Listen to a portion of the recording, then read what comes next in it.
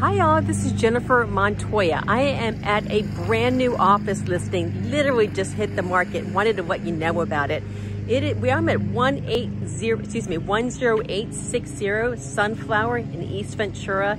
It's beautiful and warm out here. This house has brand new sod, brand new exterior paint and newer windows. And also it's great, it's got a concrete tile roof, which lasts for almost forever. Look at this beautiful slate um, entry area. I'm gonna walk in the front door. The nice thing about this house as well, it's got two different living spaces. You've got this living area, living room when you walk in the front door. Wood floors throughout the first floor. And then it flows into the dining area with a beautifully updated kitchen.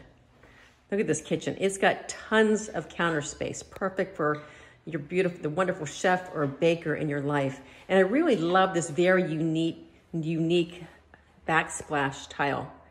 I'll do it just a little panoramic view around. Then it's great because you've got a second living space, family room area, perfect for watching football, which because it opens up to the kitchen. Beautiful shiplap on the walls. And then this area um, goes into the backyard, which I'll go out there in a minute. Half bath right here, just been remodeled. That's the garage.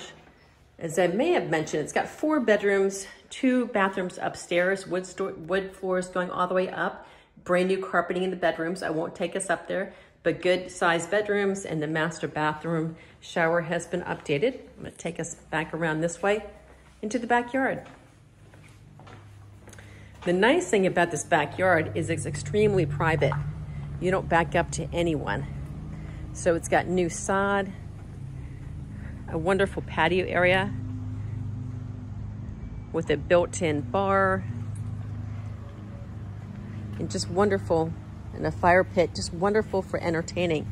So this house is on the market for 849000 Again, it's four bedrooms, two and a half baths, 1,721 square feet. I would love to show it to you. Give me a call or send me a direct message. My number is 805 844 8482. Hope you're having a wonderful day.